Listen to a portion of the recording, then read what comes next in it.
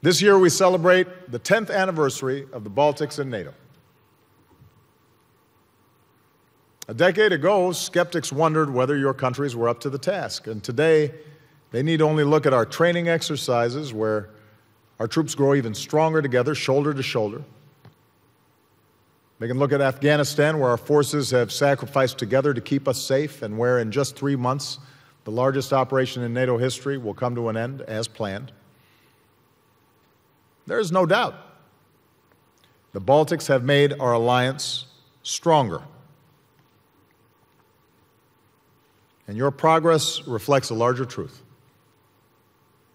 because of the work of generations, because we stood together in a great alliance, because people across this continent have forged a European Union dedicated to cooperation and peace, we've made historic progress towards the vision we share a Europe that is whole and free and at peace.